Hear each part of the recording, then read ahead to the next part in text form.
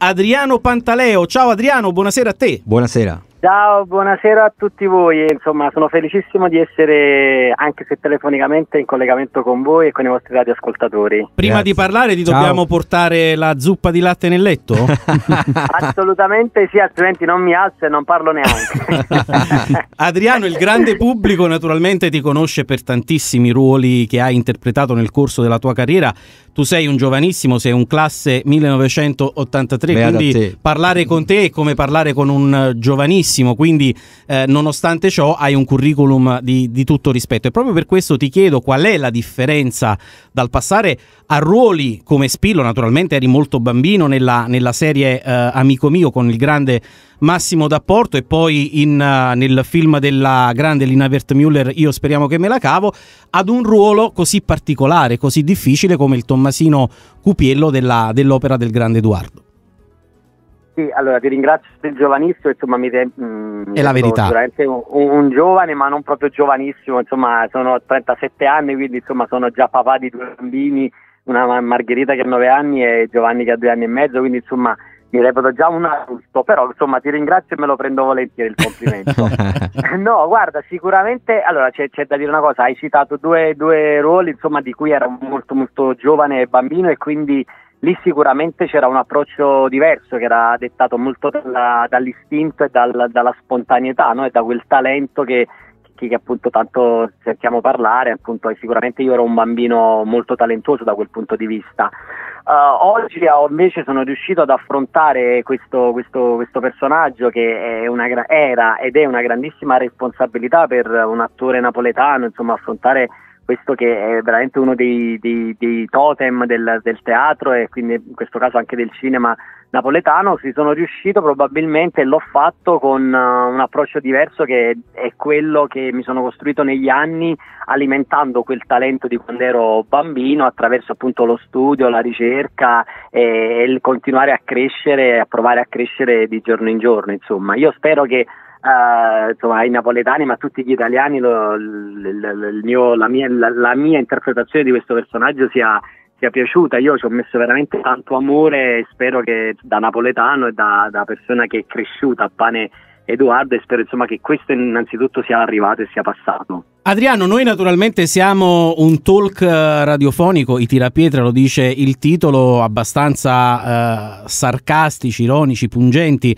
Una domanda non cattiva perché non ci permetteremo mai, Sì. ma ti devo per forza di cose eh, chiedere quanto eh, nel tuo interpretare questo personaggio molto difficile c'era comunque come eco anche il fatto che da napoletano sei cresciuto, credo naturalmente vedendo le opere di Edoardo De Filippo e quindi quanto c'era di Luca De Filippo che è uno degli interpreti principali di questo personaggio straordinario, molto comico e molto anche sentimentale poi come, come Tommasino perché è un ragazzo di grandi e profondi sentimenti e si vede nel finale soprattutto eh, dell'opera e, e anche magari io sono convinto che tu hai studiato anche Pietro De Vico che è stato un altro grande interprete del personaggio.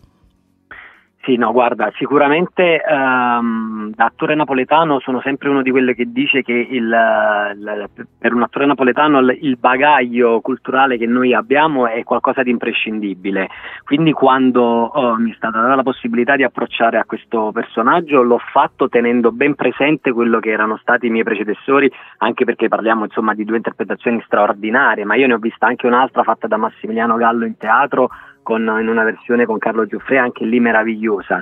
Mhm. Io però quello che ho provato a fare è assolutamente non riguardarmi eh, a quelle, quelle interpretazioni perché sono, ero consapevole, sono consapevole che quelle esistono in me, nel mio sangue e circolano perché appunto fanno parte del mio, eh, del mio DNA. Ma ho provato eh, a, a metterci del mio, ovviamente partendo da, da quelle cose che avevo già dentro e quindi sicuramente qualcuno ha potuto vedere e intravedere nel mio Tommasino qualcosa di Pietro De Vigo, qualcosa di, eh, di Luca De Filippo, però insomma quello che ho provato a fare è approcciare a questo personaggio come un personaggio scritto oggi da un qualsiasi drammaturgo o sceneggiatore eh, contemporaneo e quindi a provare a leggere eh, questo, questo ragazzo che appunto come dicevi tu dalla grande sensibilità eh, dandoci, mettendoci insomma del mio, ovviamente guidato da regista che era Edoardo De Angelis e accompagnato da attore straordinario che è stato Sergio Castellitto. Allora, ciao, volevo, innanzitutto volevo farti i complimenti per la tua interpretazione che è stata sicuramente, sarà stato forse il, il dialetto napoletano, ma comunque quella che... La lingua napoletana. La, esatto. la lingua napoletana, ma sicuramente è stata, dal mio punto di vista, quella più attinente alla, alla commedia uh, originale. Ti volevo chiedere, nei, nei fuori onda o comunque mh, nell'ambiente tra di voi, chiaramente sarà venuto fuori uh, paragone o comunque um, il pensiero di Edoardo. Volevo sapere se c'è stato, ecco, proprio nel fuori onda qualcosa uh, tra di voi che è venuto fuori, qualcosa di, di, cui avete parlato anche con Castellitto per quanto riguarda Edoardo De Filippo. Guarda, ma uh, è, è, inevitabile che, insomma, come, come, dire, l'ombra di, di, di, di, quel gigante che era Edoardo De Filippo è stata, insomma, ci ha accompagnato Uh, nel bene e nel male durante tutta la, la lavorazione dell'opera, però uh, una delle volontà principali appunto del regista che, eh, ripeto, insomma è quello che, che, che dà l'impronta a, a, tutta l'operazione era quella di in qualche modo uh, distaccarsi il, il, più possibile da, da quella, quell'operazione, insomma da quello spettacolo che noi conosciamo benissimo, ma non distaccarsi perché bisognava fare qualcosa di diverso, ma perché probabilmente la sua lettura come poi secondo me insomma, abbiamo potuto avere modo di vedere, era sicuramente una lettura di tipo diversa. Adesso è ovvio che noi napoletani in particolar modo e tanti ovviamente non soltanto napoletani siamo legatissimi a quella operazione e a quello spettacolo meraviglioso che Edoardo ci ha riproposto ben due volte attraverso anche dei, dei video che sono appunto la versione del 62 e quella del 77.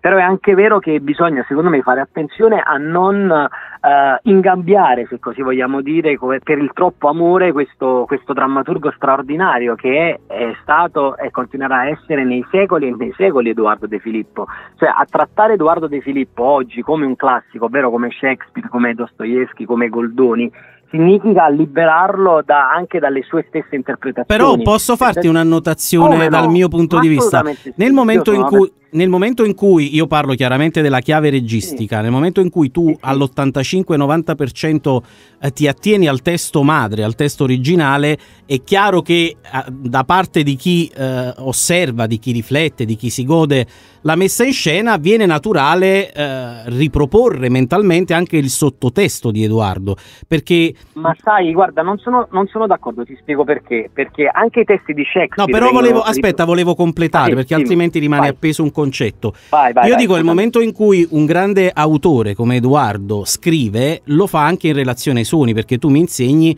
che un'opera, una commedia è anche una, una sorta di spartito musicale, no?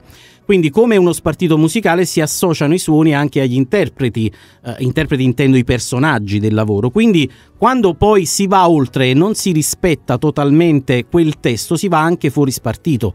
E per andare fuori spartito ne devi dare una chiave di lettura totalmente diversa, altrimenti poi la sovrapposizione è un, un esercizio naturale costante. Guarda, ti ripeto, io sono d'accordo in parte in quello che dici, ti spiego. Uh, insomma, ovviamente l'argomento sarebbe da trattare all'università, in, in, questo è ovvio. All, eh. Sì, all'università e in discussioni probabilmente che poi po- possono anche non interessare fino in fondo, però cercando di essere breve nel, insomma, uh-huh. per quanto possa, possa, esserlo, c'è da dire due cose. Um, allora, che uh, Shakespeare uh, è, è, recitato in tantissime lingue, così come Edoardo è recitato in tantissime lingue. Questo già dovrebbe farci capire l'universalità di quello che è la parola e i temi che Edoardo porta avanti, al di là del suono che Edoardo ci ha dato. C'è una differenza sostanziale. Io ho avuto la fortuna di far parte anche di un'altra operazione molto importante su Edoardo, che è stata quella diretta da Mario Martone, sempre uh-huh. un adattamento cinematografico di Rione Sanità. Rione mm. Sanità. Sì. Okay. Mario Martone diceva una cosa interessantissima rispetto a quello, al, insomma, al paragone che tu facevi eh, de- degli spartiti della musica. Diceva, noi dobbiamo pensare che questo copione che stiamo andando a leggere è uno spartito che solitamente è stato uh, suonato come m- musica classica e noi oggi dobbiamo mu-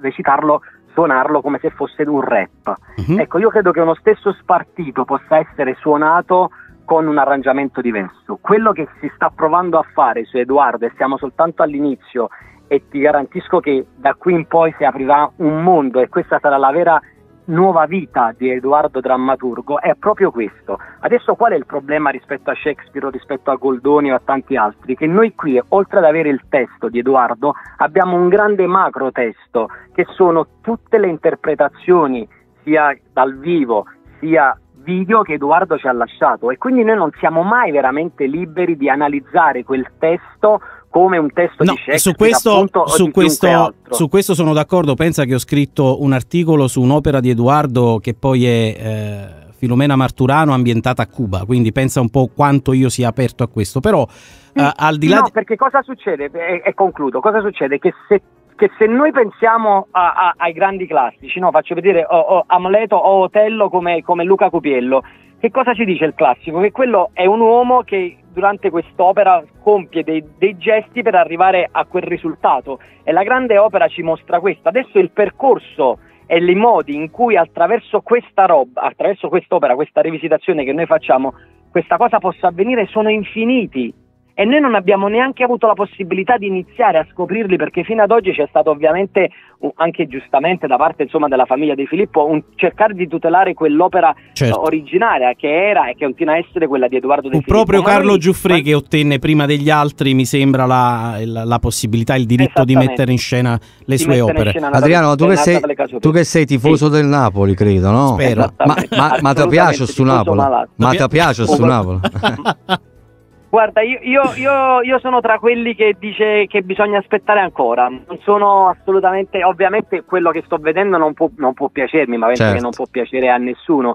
Però diciamo anche che io sono, sono un romantico in questo momento storico che viviamo, sia appunto dal punto di vista proprio mondiale, quindi della pandemia e tutto quello che stiamo vivendo, e anche proprio dal punto di vista uh, sociale e, e, umano, nel senso che questo calcio moderno che ci sta sempre allontanando di più, certo. avere un allenatore come, come Gattuso che umanamente è sicuramente un esempio, è qualcosa che secondo me a prescindere da tutto va tutelato. E quindi io dico abbiamo avuto tanti Napoli eh, non bellissimi, eh, teniamoci ancora stretto per un po' questo e vediamo a cosa ci porta, anche perché tutto sommato i risultati non sono così lontani dagli obiettivi stagionali, quindi voglio dire è vero che il gioco non ci sta convincendo, però siamo comunque in corsa in Europa League, siamo lì per il quarto posto, in Coppa Italia siamo andati avanti, diamo il tempo al tempo e vediamo che cosa e c'è può, anche, può, c'è anche una Supercoppa italiana da conquistare. Adriano c'è per, italiana da conquistare certo. per concludere c'è, quanto c'è di metodo Stanislaschi in quelle scoppolone che ti dà Sergio Castellitto mamma no, mia? que, que,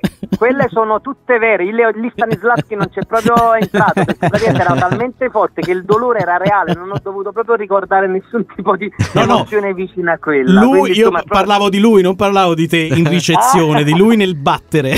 No lui lui, le batteva proprio, proprio bene, no, no, no, e guarda, però anche questo, da questo punto di vista, no, per esempio, credo che ehm, rispetto a quello che siamo soliti vedere nel rapporto padre-figlio di questo, di questo spettacolo, di questo meraviglioso capolavoro che è Natale in Casa Copiello, noi abbiamo provato a, a, dargli anche delle sfumature diverse certo. e il cinema in questo ce l'ha permesso dal punto di vista proprio fisico, tattile, no? È un rapporto fatto anche proprio di, di, di contatto, corpo, di, certo. di, contatto. Adriano, io purtroppo per motivi radiofonici devo salutarti, però prima di andare No, aspetta, aspetta, dove vai? Prima di andare in pubblicità non posso non chiederti un, un ricordo velocissimo in 15 secondi di Io speriamo che me la cavo e di Paolo Villaggio. Guarda, io speriamo che me la cavo è stato per me eh, qualcosa che va al di là di un film, è un, un, evento che mi ha segnato la vita. Io se oggi sono, la, sono un attore e sono anche l'uomo che sono, lo devo a quel film, quindi puoi immaginare quanto io sono legato. Vi dico una cosa, insomma, in anteprima che Uh, l'anno prossimo ci saranno trent- il trentennale del film, sì. il film è stato girato a sì. cavallo tra il 91 ed è poi uscito il 92, a cavallo tra il 91 e il 92 e per il trentennale ho messo su insieme a un regista che si chiama Giuseppe Marco Albano un documentario che si chiama Noi ce la siamo cavata, bello, in cui io vado in bello. giro per l'Italia a rimettere insieme tutti quei bambini che erano della terza fila oh, di Corsano, che meraviglia, che meraviglia. raccontare appunto in questi 30 anni che cosa sono diventati ed è anche un'occasione per celebrare appunto quel film e la regista meravigliosa che, che è Lina Vertimüller. Qual è la battuta che ti ricordi al volo e che ti va di ridire? Adesso che hai Decideci zomba grande grazie ad Adriano grazie, Adriano. grazie. grazie